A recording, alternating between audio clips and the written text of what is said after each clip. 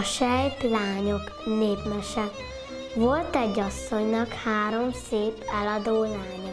Szépek voltak nagyon, mégsem kellettek a legényeknek, mert sejpül beszéltek. Bántotta az asszony, hogy pártában maradtak a lányai.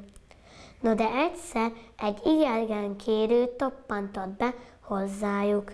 Megörült az asszony, mindjárt sürgött, forgott. A lányainak meg odasukta. Meg nem mukkanjatok, míg a legény itt lesz. Az asszony feltette a masinára a zsírt, aztán felszaladt a padlásra kolbászért.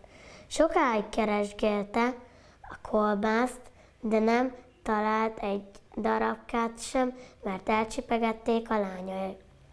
Addig az egyik lány elkiáltotta magát. Anám, pedig a díl, a másik meg, mad annak hottó a harmadik meg, takkod én nem tótam, takkod én nem tótam. A kérő megtudta, hogy egyik sem rendes, hát kereket oldott. Mire jött az asszony a padlásról, már hűlt helye volt a legénynek.